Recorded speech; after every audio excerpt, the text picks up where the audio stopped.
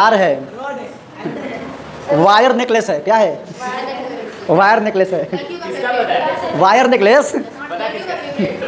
भाई, ये ये नाइक्रोम है, या वो नाइक्रोम है जिसका यूज़ हम लोग किसमें करते हैं? हीटर में। ठीक है, किसमें करते हैं भाई? हीटर में। और इसका यूज़ हम आज अपने क्लास में करने वाले हैं। ठीक है, कुछ करके देखेंगे कि क्या इसमें करंट फ्लो होता है कि नहीं होता है। और होता है तो क्या इफ़ेक्ट पड़ेगा इस पर ठीक है? तो हम फटाफट, इसके लिए हमारे पास भाई वायर भी है। तो फटाक से हम वायर को पहले इसमें कनेक्ट कर लेते हैं। इसमें हम क्या देंगे? एसी सप्लाई क्या देंगे भाई? एसी और एसी में पोलैरिटी का कोई झमेला नहीं होता है। झमेला समझते हो ना? एसी में कोई टेंशन नहीं। अगर डीसी होता तो प्लस माइनस का टेंशन होता। इसमें हम देंगे क्या? एसी किसी को किसी से जोड़ सकते हैं। ठीक है? तो हमारे पास दो वायर हैं। हम जनरली इसको जो है इसमें कनेक्ट कर देते हैं। सर, थोड़ा यहाँ फोकस कीजिए। चलिए। आप देख पा रहे होंगे जनरली हमने यहाँ पे इसको कनेक्ट कर दिया है। और सेम इस वाले हिस्से को जो है, हम इधर इधर क्या करते हैं, ऐसे हम हम इधर जो है, हल्ला बाबू कनेक्ट कर देते हैं, ठीक है? भाई कनेक्शन तैयार है, ठीक है? लड़कियों को नहीं बुलाएँगे, लड़कियाँ डरपोक होती हैं। अरे मम्मी, अरे पापा। चलो आ जाओ बाबू, अब से तुम आ जाओ।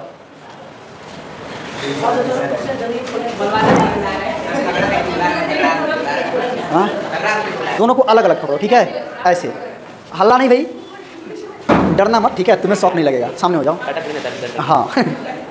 भाई, ये इंसुलेशन वायर है। ये क्या इंसुलेशन है? ऊपर पीवीसी का इंसुलेशन है, कॉपर का वायर है, और नीचे हमने क्या लगा रखा है? नाइक्रोम। क्या है भाई? नाइक्रोम। अब हम क्या करेंगे? डायरेक्ट नाइक्रोम में क्या दे देंगे? सप्लाई। किसके थ्रू? इस वायर के थ्रू। ठीक है? तो चलिए करते हैं। देखिए भाई, जब हम वहाँ से ऑन करेंगे ना तो आपको थोड़ा सा वाइब्रेशन महसूस होगा जब वाइब्रेट होगा तो डरना मत। ठीक है? ये मत सोचना कि शौक लग जाएगा, ठीक? थोड़ा सा मतलब इस, भाई जब ऑन करते हैं ना, इस वायर में थोड़ा सा एक्सटेंशन होता है, तनाव होता है। जब जब वायर हीट होगा, इसमें थोड़ा सा क्या होगा? तनाव। जिसकी वजह से थोड़ा सा इसमें क्या होगा? इस वायर में थोड़ा सा वाइब्रेशन देखने को मिलेगा, ठीक है? उसके बाद के इफ़ेक्ट को देखते हैं। तो वहाँ से ऑन कर दो। वहाँ से ऑन है। नीचे से फोकस कीजिए। हल्ला नहीं, भाई। हल्ला नहीं हल्ला नहीं। चलिए और थोड़ा सा पास आ जाओ। हाँ? चलिए। हालाँकि थोड़ा सा वोल्टेज का इफ़ेक्ट है जिसकी वजह से ये थोड़ा सा अच्छे से रीड नहीं हो रहा है। ठीक है? सबको दिख रहा है भाई? और थोड़ा सा ऊपर करो। दिख रहा है? ना कजरे की धार ये मोतियों की हार। कौन पहनेगा भाई? भाई, अगर इसे टच करोगे तो केवल जलोगे नहीं, लहक जाओगे। जानते हो क्या होगा? भाई, इसको अगर टच करोगे ना तो शॉक तो लगेगा ही। साथ ही साथ इलेक्ट्रिसिटी तो का शॉक लगेगा ही हीट से भी जलोगे। ठीक है, चलिए हम इसकी टेस्टिंग करते हैं। यहाँ से हम इसकी टेस्टिंग करते हैं। यहाँ देखिएगा सर थोड़ा पास लाइएगा मेरे को। आप अगर देख रहे होंगे तो यहाँ पे यहाँ पे जो कॉपर का वायर है कॉपर का वायर थोड़ा भी रेड नहीं हुआ है। यहाँ पर थोड़ा फोकस कीजिए सर अगर यहाँ देखोगे यहाँ पे तो यहाँ पे देखिए। यहाँ पे जो है रेड नहीं हुआ है। ये कॉपर का वायर रेड नहीं हो रहा है, लेकिन कॉपर के साथ यह नाइक्रोम जुड़ा हुआ है। यह नाइक्रोम रेड हो रहा है, लेकिन कॉपर का वायर रेड नहीं हो रहा है। ऐसा क्यों? अब इसको थोड़ा पकड़े रहना, ठीक है? चलिए, हम इस साइड आते हैं। और देखिए भाई इलेक्ट्रिसिटी पूरी फ्लो हो रही है इसमें। यहाँ पे हम टच किए हैं। शौक लग रहा है क्या? क्यों? क्या है इस पर इंसुलेशन का लेयर है। चलिए, हम यहाँ पे टच करते हैं, ठीक है भाई? थोड़ा टेस्टर के केयर कीजिएगा, सर। इलेक्ट्रिसिटी टेस्टर, पता चल रहा है? पता चल रहा है भाई? मीन्स यहाँ पे क्या आ रही है? सप्लाई आ रही है। यहाँ पे देखिए, टच करते हैं। यहाँ पर भी सप्लाई क्या आ रही है? आ रही है। ये किसका है भाई? बीड़ी जलैले। अरे मैंने कागज़ जलैले। किससे? हीटर से।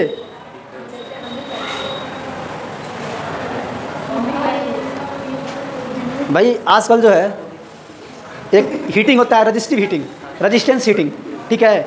अभी क्या है, उसमें क्या होता है कि डेड बॉडी को जो है, बहुत जल्दी, आराम से जला दिया जाता है इलेक्ट्रिसिटी के थ्रू ठीक है? अभी बॉडी को और लकड़ी से जलाओगे तो चार पाँच घंटा लगता है, लेकिन अगर रजिस्टेंस हीटिंग है तो रजिस्टेंस हीटिंग में क्या होता है कि ऐसे क्वाइल होता है, उसके रजिस्टेंस को बहुत अधिक बढ़ा देते हैं, जिसकी वजह से वो पूरा रेड हो जाता है और बॉडी को डायरेक्ट उसमें डाल देते हैं। पाँच से दस मिनट में पूरी बॉडी ख़त्म, ठीक है? तो चलिए, इसको थोड़ा सा बंद करते हैं। वहाँ से ऑफ़ कर दो। ये अभी हीट है। चलिए, यहाँ पे अब देखिए सप्लाई पूरी तरह से क्या हो गई? ख़त्म। चलिए, इसके इफ़ेक्ट को देखते हैं, ऐसा होता क्यों है? बाबू थोड़ा सा साइड हो जाओ। भाई, हमारे पास दो वायर था। क्या क्या था? एक था नाइक्रोम और एक था कॉपर है कि नहीं? भाई, हमारे पास नाइक्रोम है और क्या है? कॉपर है। नाइक्रोम का नाइक्रोम की रजिस्टिविटी, याद कीजिए नाइक्रोम की रजिस्टिविटी कितनी होती है?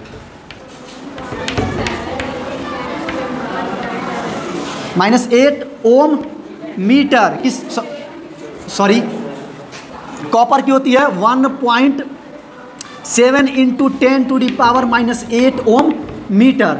और नाइक्रोम का होता है one point five into ten to the power minus six ohm metre. ध्यान दीजिएगा, नाइक्रोम का रजिस्टेंस ये होता है, भाई, रजिस्टेंस का फॉर्मूला क्या होता है? R equal to rho L by A है ना? अगर हम लेंथ को यूनिट कर दें, अगर लेंथ को यूनिट कर दें एरिया को यूनिट कर दें तो R equal to rho R equal to rho means अगर वन मीटर का लेंथ है, उसके लिए रो की वैल्यू और आर की वैल्यू क्या हो जाएगी? बराबर। और कॉपर के लिए रो कितना होता है? One point seven into ten to power minus eight ohm metre nichrome के लिए one point five into ten to power minus six ohm metre किसका रजिस्टेंस ज़्यादा है? इसका नाइक्रोम का नाइक्रोम का रेजिस्टेंस क्या है? ज़्यादा है। अब बताओ power power loss P equal to I square R into T है ना? हमने जो वायर यूज़ किया है भाई, यह कैसा कनेक्शन है? यह नाइक्रोम और कॉपर के बीच सीरीज़ कनेक्शन नाइक्रोम और कॉपर के बीच सीरीज़ कनेक्शन सीरीज़ कनेक्शन में करंट क्या होता है? करंट क्या होता है सीरीज़ कनेक्शन में? भाई सेम सेम होता है ना? डिफरेंट होता है। सेम होता है। सीरीज़ में करंट क्या होता है? सेम भाई, जो करंट कॉपर में जा रहा है, वही करंट नाइक्रोम में जा रहा है। ठीक है? फिर भी नाइक्रोम लाल हो रहा है। तो किसकी वजह से? पावर लॉस टाइम भी सेम है। जितना देर करंट कॉपर में फ्लो हुआ है, उतना ही देर नाइक्रोम में भी फ्लो हुआ है। है ना? लेकिन उसके बावजूद करंट भी सेम है। उसके बावजूद नाइक्रोम क्या हो गया? हीट हो गया। क्यों? क्योंकि इसका रेजिस्टेंस क्या है? ज़्यादा है। तो भाई, जब इसमें करंट सेम है टाइम सेम है, और आर क्या है? अधिक। जब आर अधिक है तो पावर लॉस क्या होगा? अधिक। और यही क्या है? जूल्स लॉ भाई जूल ने क्या कहा था? भाई, जिसका रेजिस्टेंस ज़्यादा होगा, उसमें जितने देर तक करंट फ्लो होगा, उतना ही उसमें क्या होगा? पावर लॉस होगा। तो यहाँ पर देखिए कॉपर था और नाइक्रोम था। दोनों में सेम अमाउंट करंट फ्लो हो रही थी। सेम टाइम तक हो रहा था। लेकिन रजिस्टेंस अलग अलग होने की वजह से इसका पावर लॉस क्या है? ज़्यादा है। हम इसकी डिज़ाइनिंग ही ऐसे करते हैं कि पावर लॉस क्या हो? ज़्यादा हो। ठीक है, हम चाहते हैं कि इसमें पावर लॉस हो। हम जानबूझकर चाहते हैं कि यह लॉस हो, ताकि हमें क्या मिल हम वर्क कर सकें, ठीक है? हम उस उस हीट का यूज़ कर सकें, ठीक है? बल्ब सौ वाट का जो बल्ब होता है ना, उसमें भी पावर लॉस क्या होता है? ज़्यादा होता है। भाई, उसमें हम हंड्रेड परसेंट सौ वाट का अगर आपके पास बल्ब है, ये मान लीजिए सौ वाट का क्या है? ये सौ वाट का क्या है भाई? बल्ब है, ठीक है? मान लो भाई, नहीं बनाया बढ़िया। ठीक इसमें क्या होता है? इसमें अगर हम 100 परसेंट इनपुट देते हैं 100 परसेंट तो यह केवल 10 परसेंट ही इलेक्ट्रिसिटी 10 परसेंट ही लाइट में कन्वर्ट करता है। केवल 10 परसेंट लाइट कन्वर्ट करता है, बाकी 90 परसेंट हीट में लॉस हो जाता है। यहाँ पर भी हम वही, हम यहाँ चाह रहे हैं कि हीट लॉस हो। यहाँ हम चाह रहे हैं कि हीट लॉस हो, ठीक है? और वो किसकी वजह से होता है? आर की वजह से। नाम से क्लियर है नाइक्रोम नाइक्रोम किसका किसका मिश्रण होता है भाई? नाइक्रोम नाइक्रोम किसका किसका मिश्रण होता है? भाई, नाइक्रोम है क्या? एलॉय है। किसका किसका? निकिल और क्रोमियम। नाइक्रोम नाम से क्लियर है। निकिल है और क्या है? क्रोमियम है। भाई, निकिल और क्रोमियम का एलॉय है। जब उसको मिलाते हैं तो क्या बनता है? नाइक्रोम बनता है। नाइक्रोम की मेल्टिंग पॉइंट होता है 1400 डिग्री सेल्सियस। कितना होता है? कॉपर का कितना होता है? एक हज़ार चौरासी डिग्री सेल्सियस। किसका मेल्टिंग पॉइंट ज़्यादा है? है ना? इसका मेल्टिंग पॉइंट क्या है? ज़्यादा है। रेजिस्टेंस क्या है? ज़्यादा है। इसलिए क्या होता है? ज़्यादा रेड होता है। रीज़न समझाया भाई? क्यों? क्या रीज़न है रेड होने का और क्या रीज़न है रेड ना होने का? अब आप लोग भाई, आप लोगों से कह रहे हैं। नाइक्रोम भाई, पता है?